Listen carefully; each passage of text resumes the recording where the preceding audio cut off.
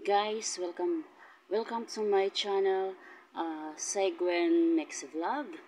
So ngayon, uh, gabi ngayon. So nag ano ko ng uh, coffee, ano siya, white coffee.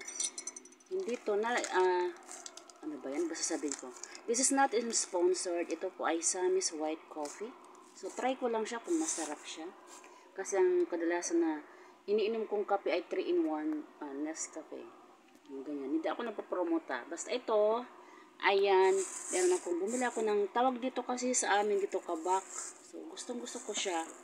Hindi nga lang siya bagong luto. Pero, kanina to, kanina tong mga tanghali niluto. Ayan. Kayo magme-merienda. Bumili kasi ako ng kape.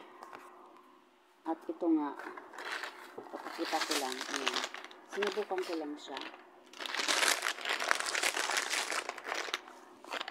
Ito yan. Siya, o, oh, diba? Habang ako'y nakalahib. yan. Wait, wait lang ha. Binili ko siya. Hindi siya isang dos. Ang dosena, ano siya. Yan po. Yan po guys, ang aking, uh, kasi wala lang. Gusto ko lang siyang magkape ngayong gabi. Kung bago lang po kayo sa akin channel, please like, share, comments, and subscribe. At huwag nyo rin pong kalimutan, click the notification bell para lagi pong updated sa mga sunod pang mga videos. Ayan po, baby pa po ang king channel, kaya naway po uh, tulungan niyo po ako at, um, at humihingi po ako ng suporta. At ganoon din po ako sa inyo, bibigyan na po ng suporta sa inyo. Maraming salamat sa inyo guys. Ayan, masarap ito.